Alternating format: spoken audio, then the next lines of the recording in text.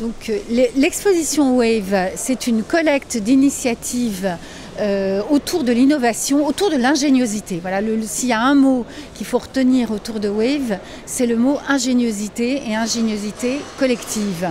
Euh, puisque l'ingéniosité, c'est un concept qui a toujours existé, il y a toujours eu des ingénieux, des bricoleurs, euh, mais ce qui change aujourd'hui, c'est la conjonction de l'ingéniosité avec les réseaux sociaux la, force de Wave quand même, c'est d'aller chercher ces initiatives, cette ingéniosité à travers le monde. Dites-moi un petit peu d'où viennent toutes ces, euh, toutes ces idées?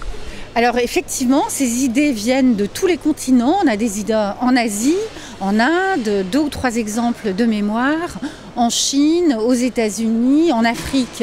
Bien évidemment, oui, les idées viennent du monde entier. L'ingéniosité euh, fleurit partout, euh, sans, comment dirais-je, fleurit absolument partout. Alors comment est, venue cette idée de, cette exposition?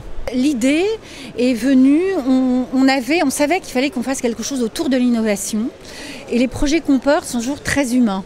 Donc euh, l'innovation euh, technologique, euh, on avait vraiment la, conviction que l'innovation aujourd'hui, elle n'était plus technologique. Et en effet, l'innovation aujourd'hui, il y a de la technologie, mais ce n'est pas central. Ce qui est central, c'est l'humain. Donc on parle du monde, mais euh, il y a aussi des, initiatives nantaises.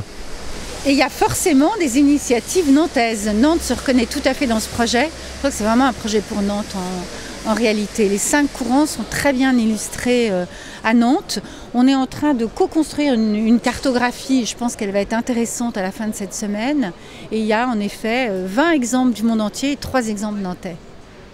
Elle va où ensuite cette, euh, exposition? Je crois qu'elle se balade à travers le monde. Oui, elle se balade en France et à travers le monde. Elle va à Grenoble, à San Francisco, à Dakar, à, Toulouse, à Istanbul, à Bombay en début d'année prochaine. Et voilà, je ne vais pas